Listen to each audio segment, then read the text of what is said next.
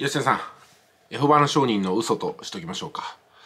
まあ、エホバの商人の嘘というよりもエホバの商人の本音なんですけども、あの、エホバの商人さんね、特に2世の方で、物心ついた時から、このエホバの商人の教えとか組織にものすごく疑問を感じてね、やめたいと思うことって結構あるそうなんですよ。で、それは、10代から20代になっても、20代から30代になっても、やめたいなもう嫌だなとかってずっと続くらしいんですよ。でもそのたんびにね、それはエホバが試してらっしゃるのよっていうふうにこう相談すると言われるそうなんですよ。あ、そうか。この心の迷いって誰でもあるんだ。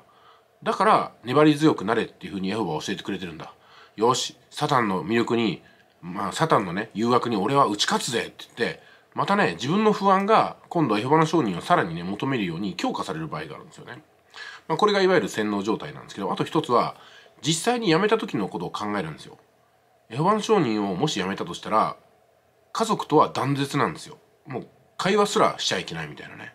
連絡ももちろんダメみたいな感じで強い浮き手があるんですよ。で家族からすると残念ながらあの自分のね子供だったら子供はサタンに見入られたんで自分たちまで関わっちゃうとあの自分たちもサタンに取り込まれちゃうからもうあれはねサタンにもう渡すしかないと。あとはエホバが決めてくれるっていうふうにもう諦めちゃうそうなんですよ。で実際にエホバの商人を辞めたらその他の社会で人脈も経験もないから生きていくのがものすごく難しくってだからね辞めるに辞められないそうなんですよ。辞めると本当に苦しいらしいですね。エホバの商人以外の世界を知らないから。まあ宗教の上等手段なんですけどもその他の社会との関わりをね断絶してもうエホバの商人とか宗教団体辞めたら他に行くところがないようにするらしいんですよ。これは怖いですよね。でこれってのはね別に他人事じゃなくてね吉谷さん。会社員として長く生きてきた人がネットビジネス世界でやっていくなんて自信ないじゃないですか。だからネットビジネスちょびっとやってあこれダメだなと。よし会社戻ろうみたいな感じになるんですよ。うん。でもね逆に言うと私とかね吉谷さんとかどうですかね。うん。まあちょっと分かんないですけど例えば今ネットビジネスを取り上げられたら俺どうすればいいんだみたいなね。やめるにやめられないですよ逆に。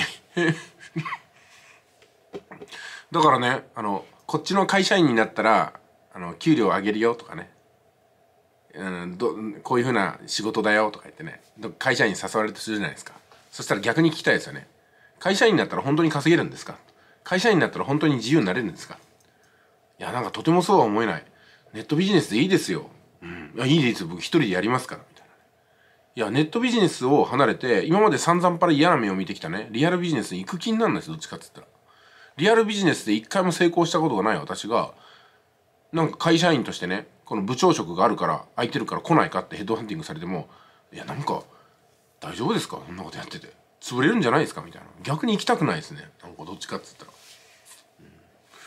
うん、だからねあのかつてのアンチリメイクさんかなんかに言いたいですけどもあの会社員になったら本当に稼げるんですか？どっちかっつうとそっちの方が疑問ですよ今は。自分のビジネスで自分が稼げるのは当たり前なんだけどどこの誰か知らない人の会社に勤めに行ってえなんで稼げるんですか？何？朝8時とか9時に出社して夕方6時とか7時に帰ったらお金もらえるの？何それ？みたいな、まあ、信じらんないよ。何もやんなくていいの？失敗してもいいの？ノルマ達成しなくてもいいの？なんでそれでお金もらえるの？えなんで？なんで？みたいなね。え締め切りロスっても大丈夫なの？職場の人間関係揉めても？上司が嫌いでも給料もらえるの？そんな世界あんの？信じらんないっすよ僕みたいな感じですよね。